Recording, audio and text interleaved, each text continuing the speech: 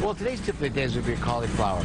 You know, holiday table, cauliflower's on there. Cauliflower pasta, cauliflower by itself, roasted, or just about any way you like to make it. It's great for you. It tastes delicious, but selection and storage is very, very important. Let's talk about selection. When you buy it, you want to make sure nice and white all the way around.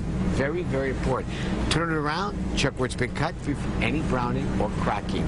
Now, when you bring it home, some cauliflower is wrapped in plastic, some are not. Either way, if you buy it like this, without the plastic, and you bring it home, open up the plastic bag and buy it two or three days before you need it. Don't store it for too long.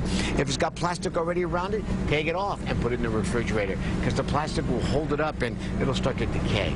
So cauliflower, and great for us too, a lot of vitamin C. In the market, holiday tables, locally grown, it's a beautiful thing. And I'm Tony Tantillo, your fresh grocer. Always remember to eat fresh and stay healthy.